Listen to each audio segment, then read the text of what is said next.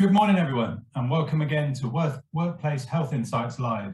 For those joining us for the first time, we've designed this series to discuss the healthcare challenges facing UK businesses, all part of our commitment to keep you updated on the latest health and wellbeing trends so you always feel one step ahead.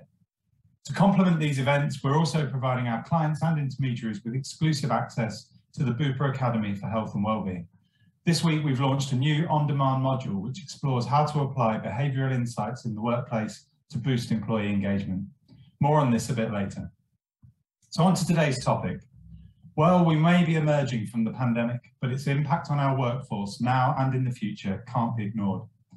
One thing the pandemic has taught us all is that keeping our workforce healthy and well is critical on average, someone could spend a third of their life working. So the opportunity an employer has to make a positive difference during this time is absolutely huge, as is the responsibility we all have. In fact, research shows that employees now trust their own employers more than any other societal institution. Organisations can play a unique role in their employees' employees' life by helping them change behaviours and be more in control of their health.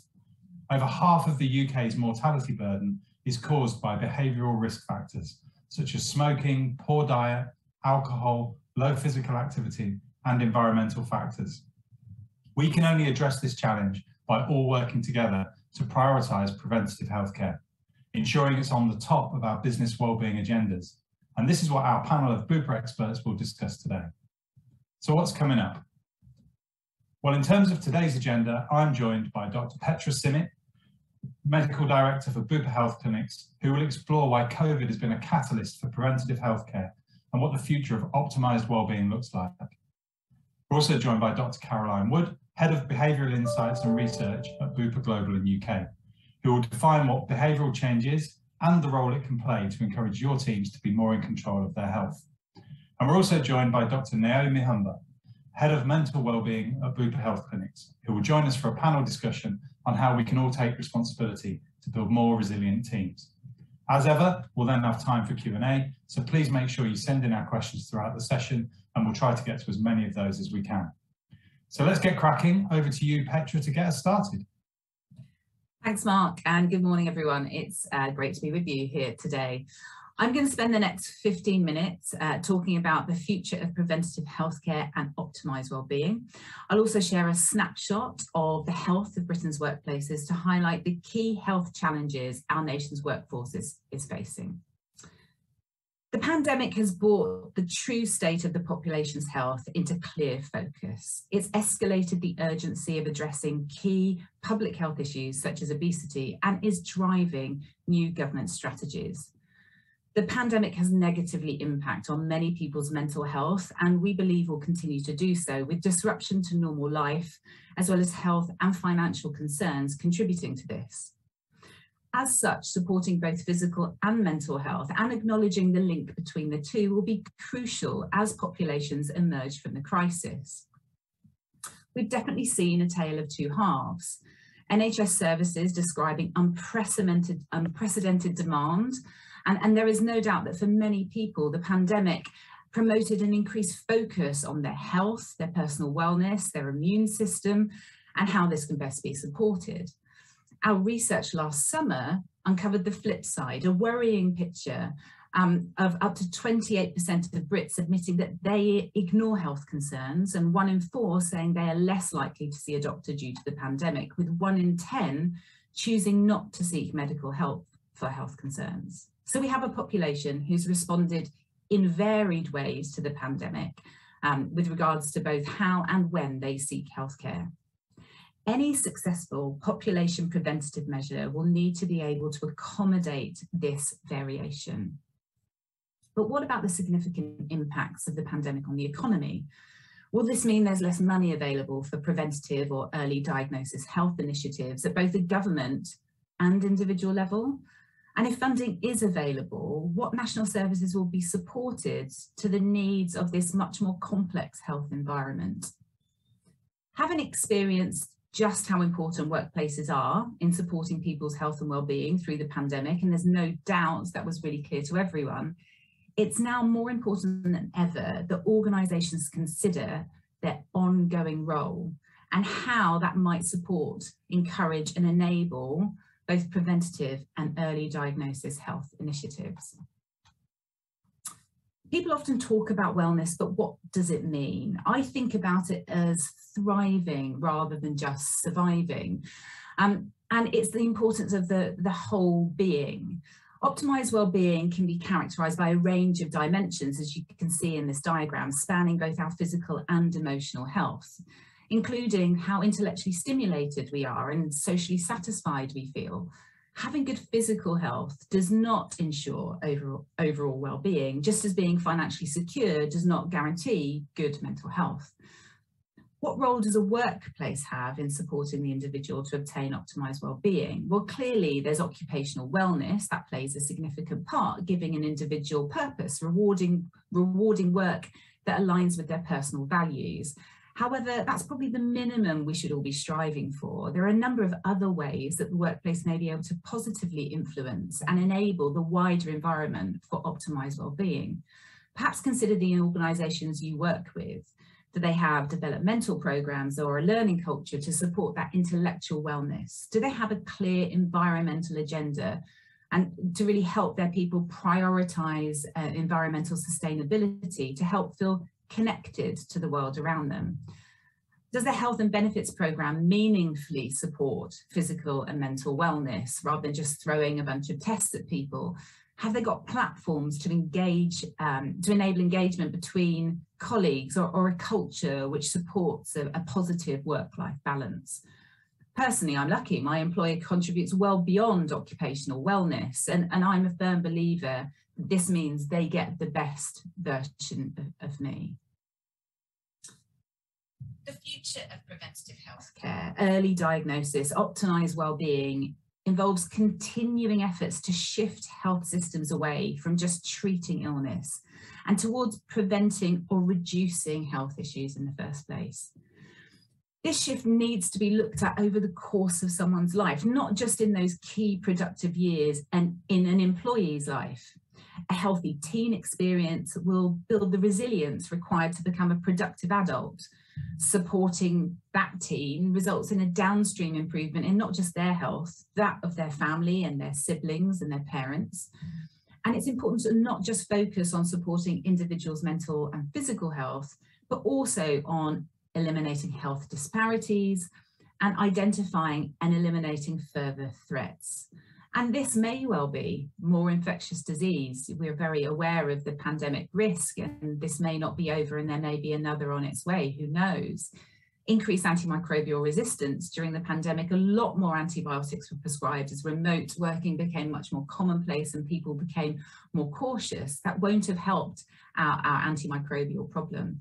And there are non-infectious hazards, such as those in the workplace, even just how we sit at our desk or how, how active we are in the workplace and the surrounding environment. There's a notable shift towards moving from reactive to proactive healthcare and moving away from the paternalistic pattern of giving someone health advice towards empowering patients, making them become informed co-creators of their own health. This means if we can get individuals engaged in their health journey, journey owning their wellness, they're much more likely to get better outcomes, both short and long term. And interestingly, we're seeing younger generations much more engaged and interested in, in health and well-being, taking preventative uh, healthcare approach, looking at self-monitoring their wellness, making much better decisions around their health and environment than perhaps generations before them. And with the health of digital tools and the Internet of Things, they may actually have way more tools than people of my generation or those before me. We're seeing this is consumer behaviour and their interaction with health and health services is changing. For example, customers are more willing than ever to tell their healthcare providers when they disagree with them, to seek out their own health information, to go prepared for their appointments, to understand what they're hoping to achieve, tracking their conditions and using data to help them make more informed decisions. And we should be really, really supporting that. We believe that in the 2020s, we'll move away from being from uh, customers and patients being the passive recipients of care.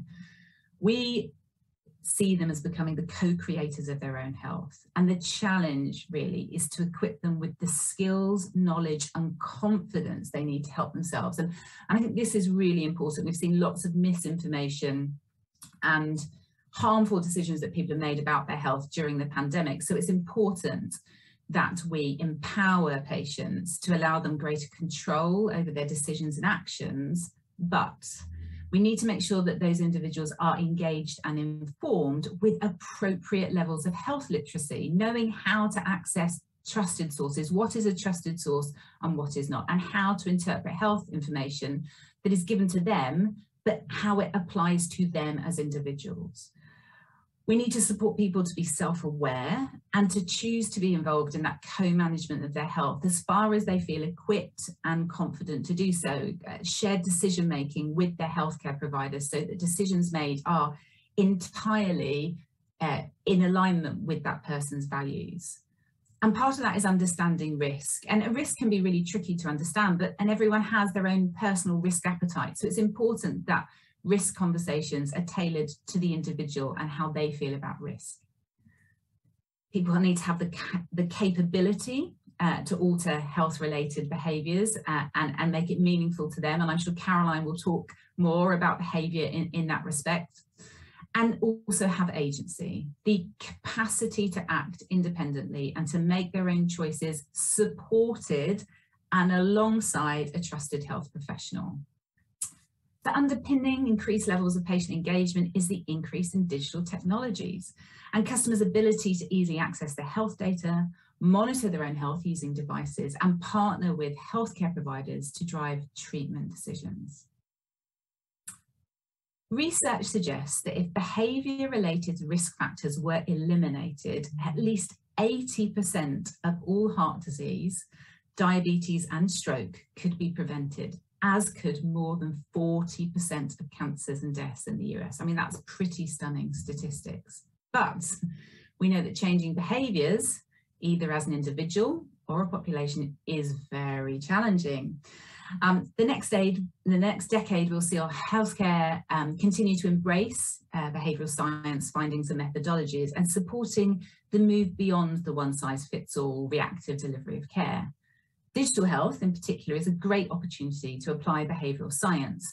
Technologies that enable people to track and interpret data from wearables and smart devices, combined with the ability for clinicians to reach uh, patients through their smartphones, should allow more targeted interventions that reach people at the right time uh, and in the right place.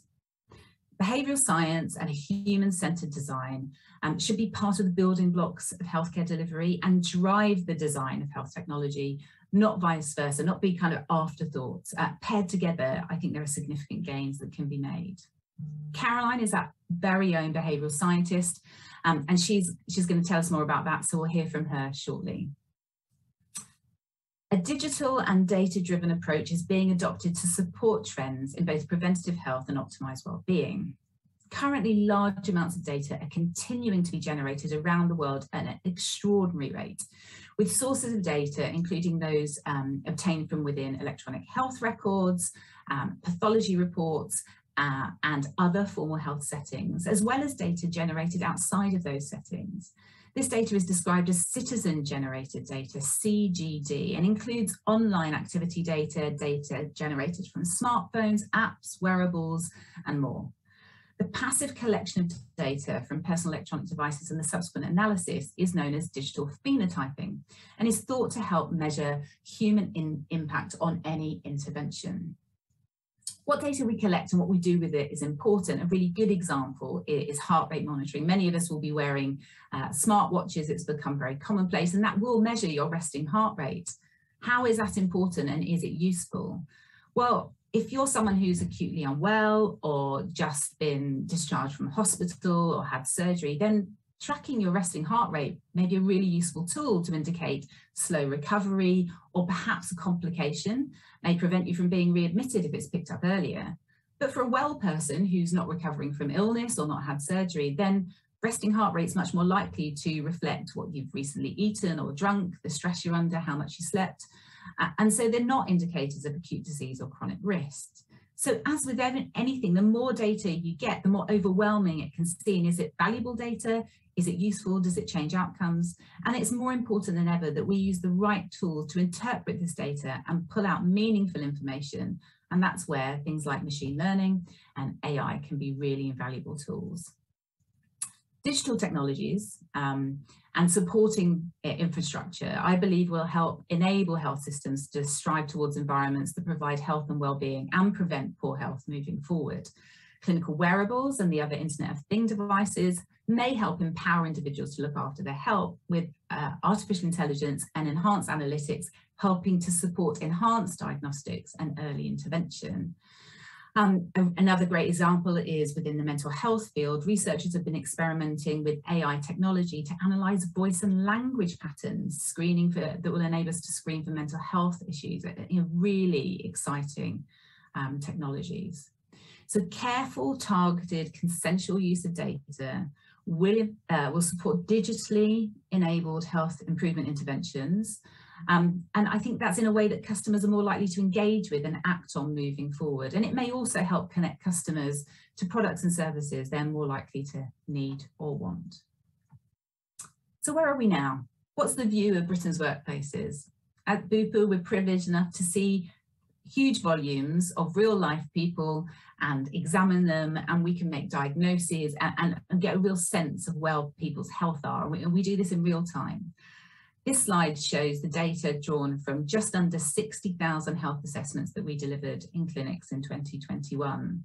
And it really shows the degree to which there is opportunity for organisations to play a unique role in their employees' lives by helping them change behaviours and be more in control of their health some quite stunning numbers on here. You know, we look at the BMI figures. Only 28% of people have a BMI in the normal range, those who attended for their health assessment uh, last year. And we know that people who um, may be more overweight or obese may actually avoid doing things like health assessments because they have a fear of being uh, told about their, their weight and what they perceive is, is lectures. It's not the way we do it in Bupa, but we certainly see that.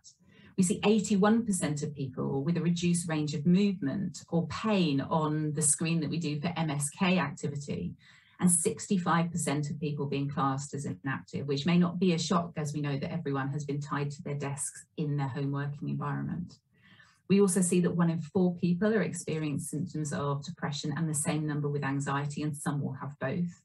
One in 10 people having significant increased health risk from alcohol consumption, and, we see that in the 15% of people with raised blood pressure, 32% with sleep problems, and 6% at risk of diabetes. So what's the so what? So what can we do? Well, there are two interventions that would make an impact on this picture.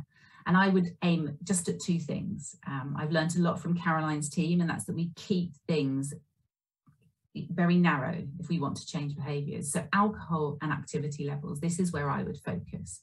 Increasing activity, and reducing alcohol.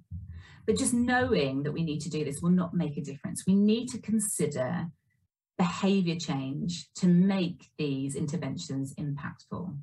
So activity, changing that inactivity level is something that could be one of the most effective health improvement tools available to us. It's, you know, increasing activity reduces blood pressure, increases metabolism, reduces the risk of cancer and cardiovascular disease. And in addition, exercise produces endorphins and other hormones that contribute to good mental well-being and improve uh, the improvement of sleep quality. Our MSK findings told us that we need to be getting people to early physio when they have aches and pains. Many cases of reduced range of movement and pain are actually a result of inactivity, poor posture, poor ergonomics. You may be surprised to know that I didn't say activity is a tool for BMI. That's because body weight and body, body fat changes occur more in the kitchen than they do in the gym. So activity is great for strength and stamina and other health benefits, but unless you're controlling your diet, it's unlikely to have a significant impact on BMI. So alcohol intake, harmful drinking directly linked to raised blood pressure, poor sleep quality, raised body weight, increased risk of cardiometabolic disease, increased mental health problems, liver disease and cancer. So trying to get to people to understand what constitutes healthy drinking and how to reduce alcohol related harm is important giving them tools and techniques to help them reduce their risks whilst ensuring those changes are sustainable. Dry January may be helpful, but mainly because it helps people to recognize how they feel without alcohol and they may want to replicate that more often and they may have developed coping techniques to manage social situations without alcohol. We know that just attending a health assessment with behavioural sciences built in is a powerful tool to help change behaviours. Our new health assessments have been based on evidence-based behavioural science approaches and as a result, it's amazing, 72% of our customers said their health and well-being improved either a lot or a little following their health assessment. And after a second coaching call, that proportion went up to 92%. So if organisations sign up to health assessments, they receive a personalised report and a snapshot, just not just of the trends, these kind of pictures, but also how they compare to themselves year on year, uh, how they compare to similar organisations within the same sector and our whole book, but also practical advice on how to make a real impact on the health and well-being of their people. The health of Britain's workplaces is important to us, as is the health of our people, our colleagues, our family and our friends. And we believe that alongside engaged organisations, Bupa can help us all on this journey to optimise the well-being of our people. Um, that's all for me. Mark, I'll be around for questions later. Um, so back to you. Thank you, Petra. Um, uh, great start there, a big, big shift you did for us there in, in bringing that to life. I, I think um, you made a comment at the beginning there about lots of people not wanting to go for their health assessments because they they know what you're probably going to tell them.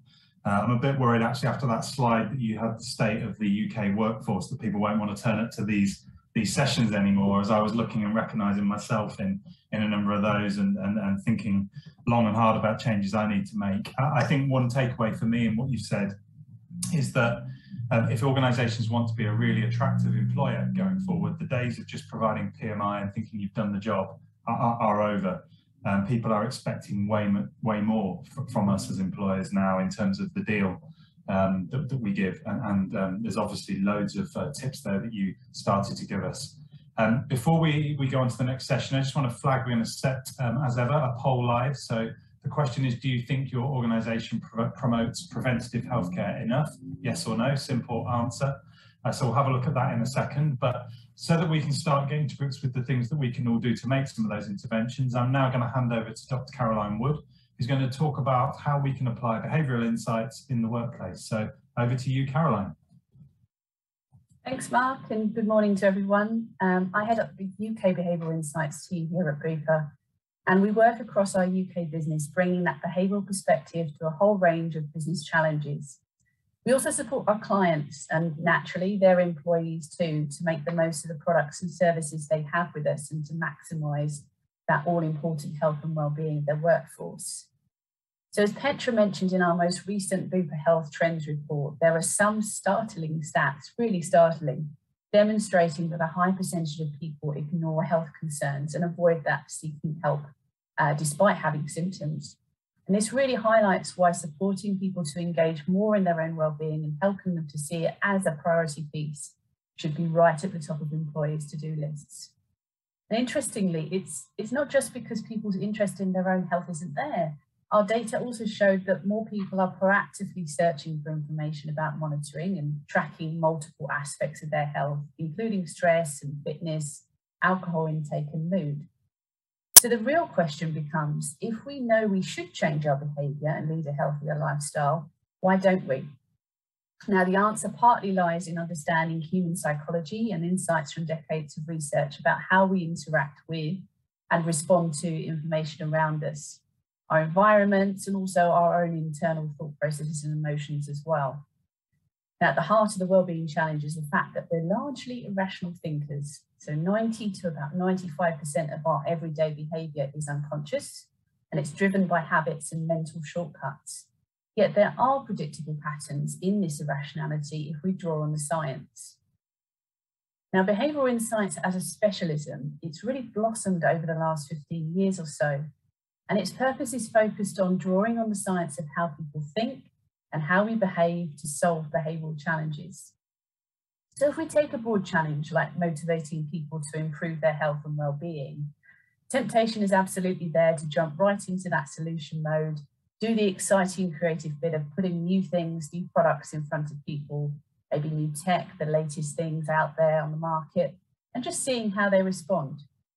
Now, jumping straight in, you might strike it lucky, you might boost some interest amongst your workforce, motivate a percentage of the group for a while, but taking the time to unpick that question mark you've got on your screen now and drawing on that science to really understand what's going on.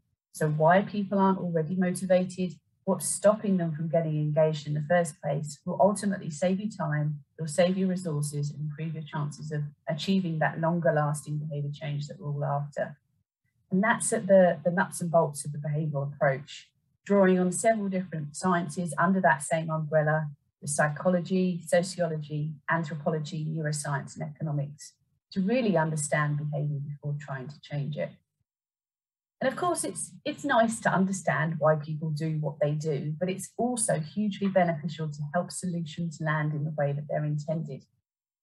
And because we're drawing on those decades of scientific research, it ensures that we're designing solutions with how employees naturally think and act rather than trying to shoehorn them into new ways of thinking.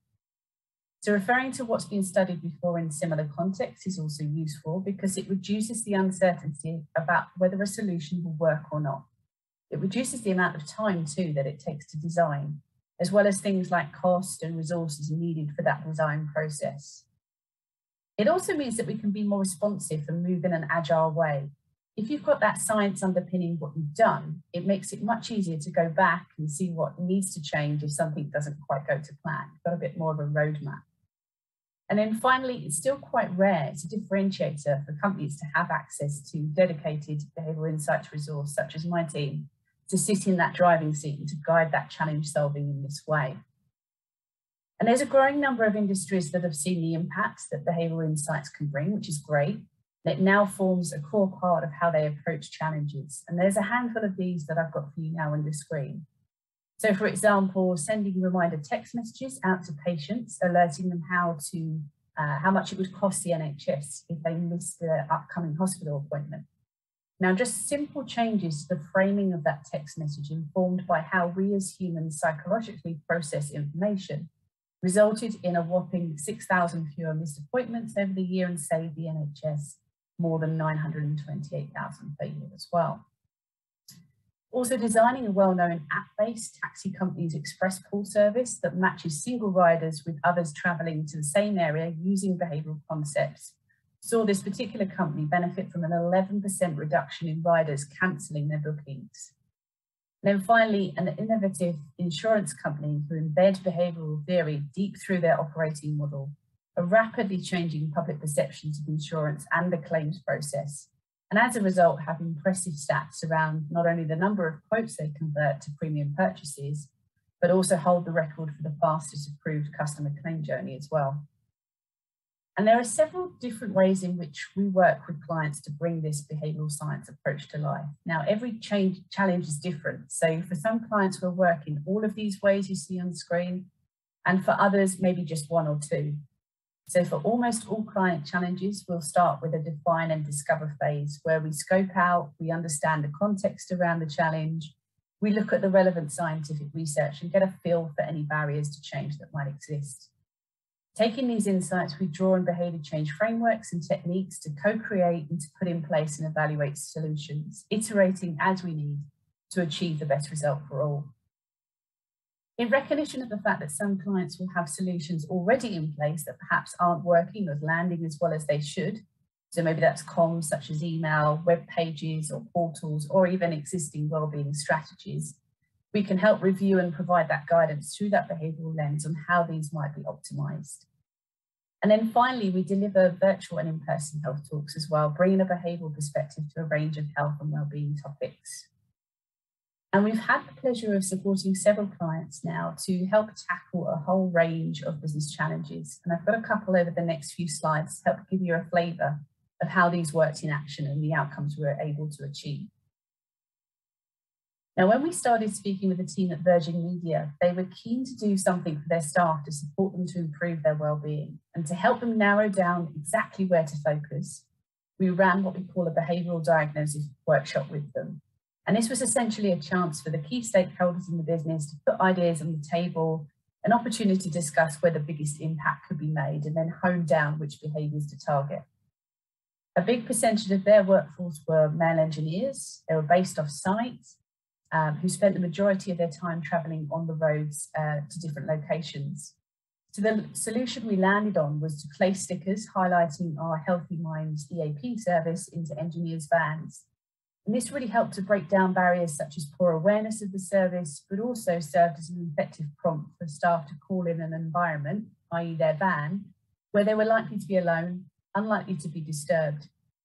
Now, both of these insights we knew from the research to be factors that could prevent uptake. And what we found was awareness of the service increased and a greater percentage of the workforce intended to use the service if they felt they needed it. In this next example, we were asked to support a different client with the challenge of improving their employees' well-being in contact centres. So to give you a bit more of a context, morale was low, sickness levels had risen and they'd seen a decline in engagement as well. So we delved into the research around workplace wellbeing, we looked at staff surveys, we spoke to some of the staff themselves to get their perspectives and also visited the contact centre offices to get a feel for that environment and the context. Based on these insights, we put together a wellbeing framework of seven different principles of workplace wellbeing. We worked with the client to design bespoke solutions to target each principle the results from this simple yet different way of thinking about things were pretty good as well. So team satisfaction improved, turnover reduced, we saw staff absence reduced by 50%, and customer NPS scores climbed to 71. In this final example, another client was keen to get support with looking at how their people were already engaging with internal comms about their wellbeing program in the hope that they could boost that interaction. As a first step, we worked closely with them to identify patterns in engagement and spot where key opportunities for boosting engagement were likely to be.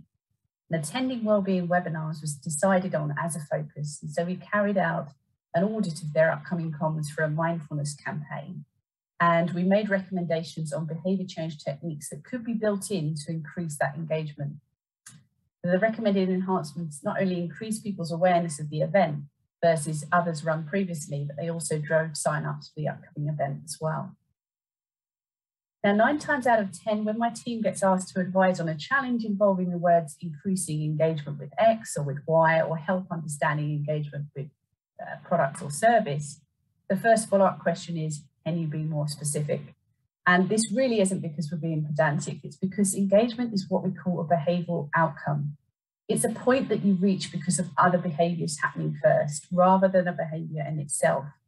So think about losing weight. That's an outcome, an outcome that could be achieved if a person were to do several different behaviors, such as eating less and moving more. And research tells us that there are two parts to engagement. There's the behavioral part, that is the extent to which something is being done. So whether staff are clicking the link to sign up to a webinar that they've been invited to. And there's the experiential part, how they feel about the webinar, how interested they are in the topic, and so on.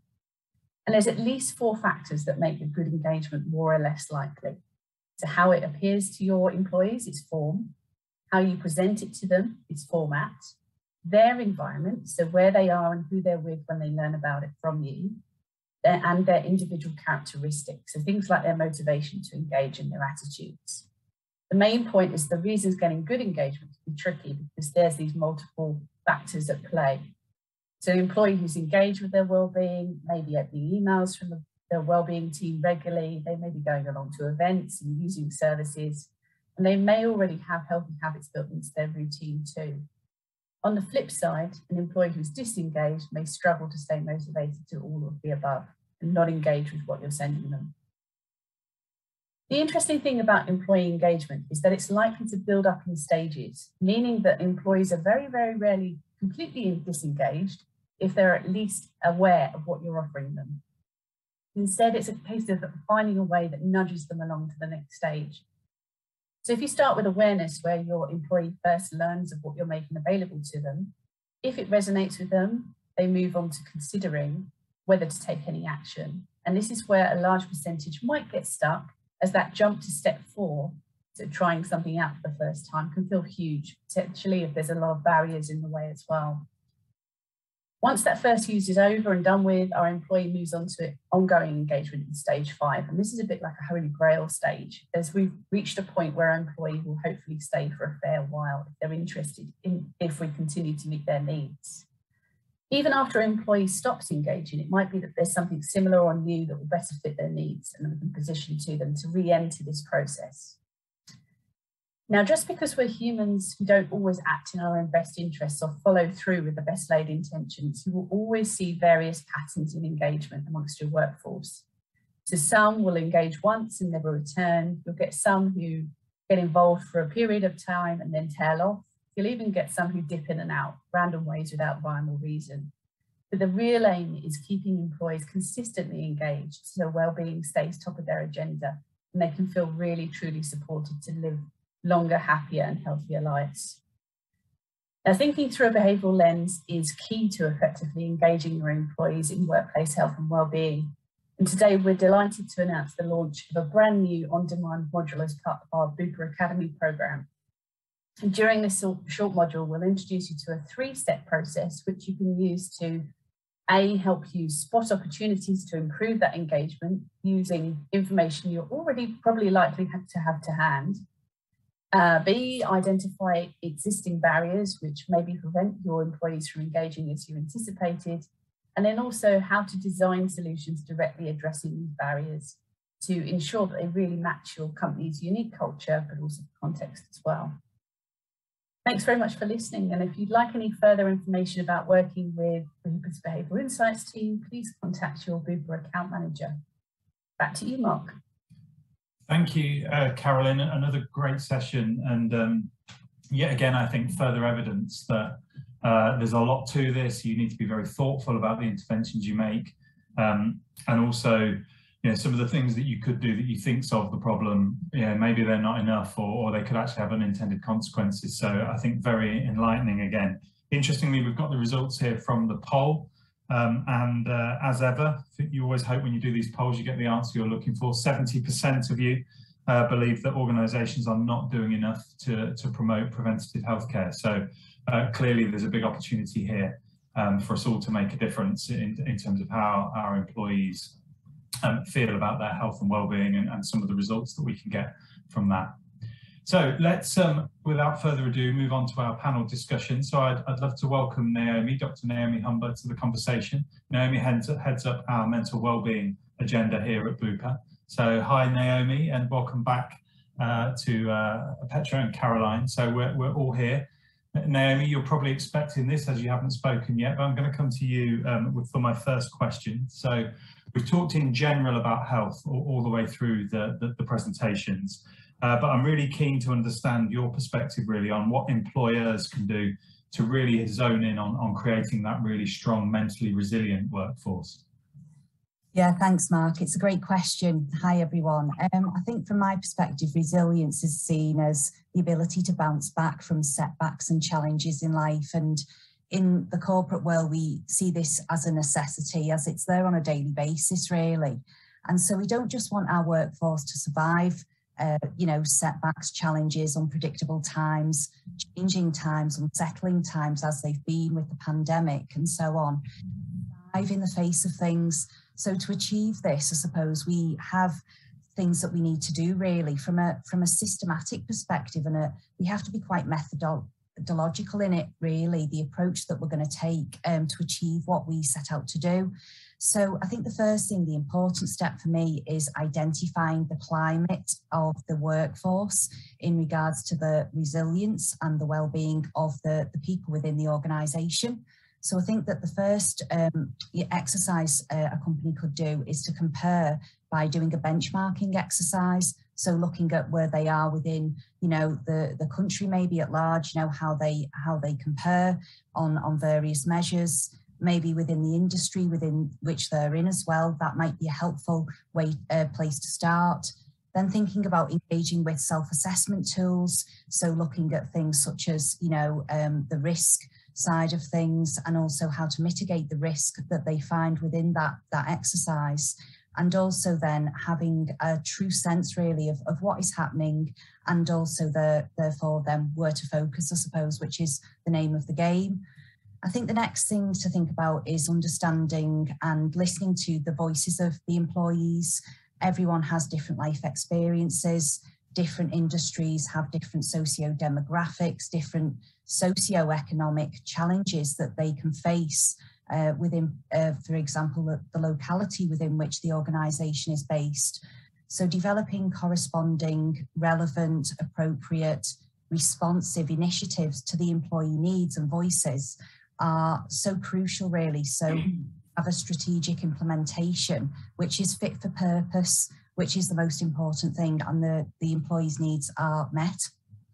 And I think finally, the implementation of the vision and the strategy is, is very important. And once we've got that data and that insight, we're then able to have strategic goals. We are able to have a vision specific to the organisation.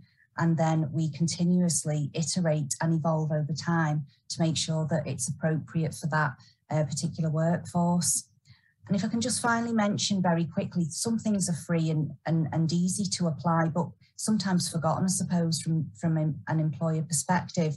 And these are things such as um, key mental health related messages um, are sometimes delivered in a in a sort of a robotic form and they might um, you know land you know in the wrong way for example so we really need to ensure that the the, the messages are genuine are meaningful come from the heart really um, because mental health can be quite an emotive subject. And I think speaking uh, to that as well, having senior ambassadors within a business who have had experiences of mental health issues themselves, modelling openness to the subject, encouraging proactive mental health care and accessing mental health care is particularly helpful to, um, you know, uh, disengage the barriers really to to accessing help. Uh, and then finally, I suppose, if I can just say, um, leading with compassion rather than criticism and having a, an ethos of cohesion and uh, connectivity would be really, really helpful. Brilliant. Uh, thank you, Naomi. And just, just going to stay with you for a second. So I guess the whole tone of today has been about what we as employers can do for our employees. But obviously, um, anywhere I've worked, we've always also tried to encourage employees to take some responsibility themselves, whether that be for their own performance, their own development. Um, what about um, any nuggets that you've got about what employees can do to, to look after their own mental health and, and, and, and make themselves more resilient? Yeah, it's another great question. I think, um, you know, in business, it's all about performance. And I think from an individual level, it's about performing at your best at all times if possible. So on an individual level, I think ideally we should see ourselves as performing like a business athlete. And if you think about the, the environment within which we practice and train, we are running a marathon, not a sprint, and we're playing the long game really. So it's about sustaining ourselves from a mental health perspective, from a well-being perspective, and maintaining a peak level of fitness in some way and wellness. So thinking about a business athlete and what they would focus on, um, it would be about practicing effective strategies for things such as communication excellence, whether that be verbally or in written form, thinking about relationship management and how we go about, you know, managing different relationships within our work, thinking about our mental strength and agility and adjusting to things that might be going on, and personal effectiveness on lots of different levels really to achieve the optimum results within our particular field, which is business.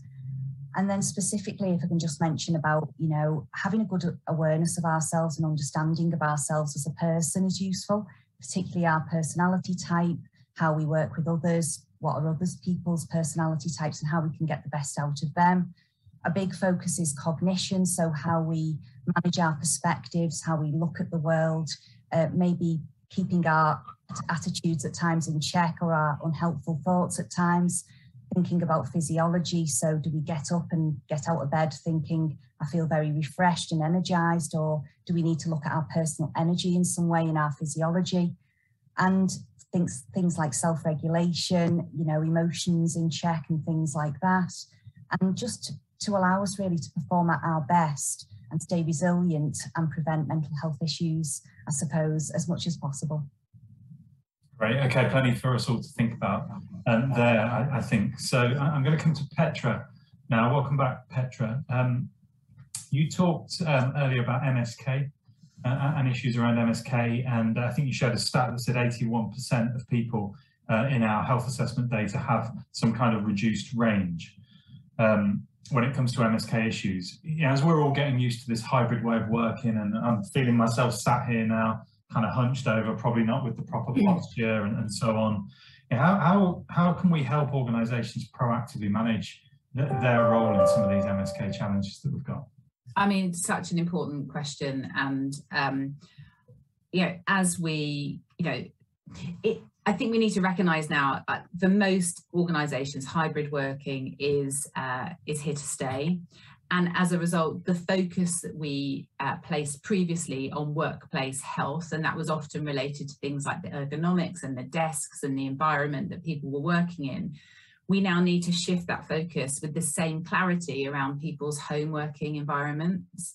Um, if you are uh, if you have a population that are hybrid working and really encouraging um, people to address that because working at home, A, you may not be working in a very uh, ergonomically uh, ideal situation. So people working on laptops, on sofas, on kitchen tables, um, but also a commute for many people is a form of activity. So even if you are someone that drives, you're still walking to your car, driving your car, parking your car, walking from your car, which is very different from just setting, opening the laptop on the kitchen table. And for anyone that uses public transport, I know that my step count when the pandemic came just halved overnight. So I was no longer walking to the station and, and walking to the office, walking around the office. And so I think there's some really practical things that people should be doing for their hybrid working population. That is making sure that people have got appropriate setups at home, whether that be more than one screen, whether it be risers, whether it be appropriate chairs, desks. I personally bought an IKEA standing desk over Christmas at the, the, the suggestion of my husband and it's been amazing to have a standing desk. And um, you know things like that I wouldn't have thought of a year and a half ago as being really important but really important for me. And and also encouraging people to get off their bottom during the day because if they're working from home and I'm sure Mark you'll know this you can sit in the same place for eight or nine hours um, and you know, sitting is the new smoking. There is no doubt that sitting is one of the worst things we could be doing for our health. And it doesn't matter how much exercise we do when we stop sitting, we can't undo the sitting. So encouraging people to take breaks when they're working from home, because I think people feel compelled to be attached to their laptop to justify them working from home, and um, to do walking meetings. Um, and actually to set an example, if you are a leader of a team, to tell your team that you went out for a walk during the working day. And in fact, I know some people that actually do a walk in the morning as if they were commuting to the station to kind of just bring that habit back in. Because as Caroline talked about, these, these need to be habits. These need to be things we don't have to add to the mental load of our day. So I think it's demonstrating. So if you've got a team, making sure they have the right setup, telling them they must have the right setup, and it's important. Um, and then, of course, getting them to recognise when their bodies are not working well and to seek appropriate professional input early. But yeah, home working is not all it's cracked up to be for the physical self. I think you've just given me an idea for our marketing team, the UK campaign called Off Your Bottom. Uh, I love to get the whole of the UK working. Uh, watch out, the Bupa marketing team. that, that, that, one's coming in your direction. Uh, thank you, um, Petra. I, am going to just go to Caroline now. So Caroline, we've all um, been there, and I suspect some of us will be this afternoon after listening to this, where we decide to take some action and we lay down a plan about what we're going to do, and we're really excited about it, and then it fizzles out, and uh, and, and in the end, we don't see it through. You know, what? Why is that? What what's going on there? Yeah, it's really annoying, isn't it? But just thinking that something is a good idea to do and then meaning to do it has very little relationship with whether we actually do it, which is a real pain. And this gap between our intentions and our behaviour is called the intention action gap. It's an actual name for it, and it's really widely doc documented um, across many different health behaviours, including smoking, physical activity, and diet as well. And um, this gap can be a result of a lot of different factors. So the environment around us, uh, mental, social, physical, situational influences all play their own role in our behaviours. So can get us going directly into that gap even when our intentions are really strong. And when we put off something until tomorrow, because we can't be bothered to do it today, it feels like someone else is going to have to do it for us. Um, and that feels great. So you keep on going in that loop, you keep procrastinating, putting things off. And it's a phenomenon that we call present bias. And it's the tendency to focus on the here and now over um, overvalue immediate rewards at the expense of longer term benefits. Which what that actually means is that people do not necessarily make their long term health a priority in the way that they should do. Instead, they want to focus on the more immediate needs and goals like relieving stress by eating comfort food. It can make it really feel very difficult to put those good intentions into action. So one thing you can try, just a top tip, is um, if-then planning. And this is a technique that can help you think about things that could take you off track and make plans for how you will handle them ahead of time. Because as humans, we don't like feeling about or thinking about what could go wrong. We don't like that planning piece. It makes us very uncomfortable. So if then plans can help set you up for success because they help cue your brain to focus on goals and how you're going to get yourself there. Um, one example could be if you miss your morning walk before work, then you'll go for a 30 minute walk at lunchtime instead. It just helps you set you up for the, to avoid you falling into that gap. Brilliant, thank you. Um, I've got a question that, that I'd be interested actually in all, all three of yours perspective on it. I, I noticed this as part of being involved with BITC over the last few years, that a lot of this narrative is, is great and easy to understand when you've got big HR departments, big budgets for this kind of stuff. But a massive part of the UK uh, working population working small businesses, where maybe the uh, you know the owner of the business is struggling to stay afloat themselves, and they just haven't got the brain space to be thinking about setting up preventative um, programs and, and all of these things that we're saying employers should do. Have you got any thoughts from a for, for some maybe some of our smaller businesses about things that they can do, or be th- even just thinking about, or where they could start on on limited budgets or with limited time? Uh, I don't I don't know if any of you uh, have a have any view on that. Maybe um, maybe Naomi, just just to start with you.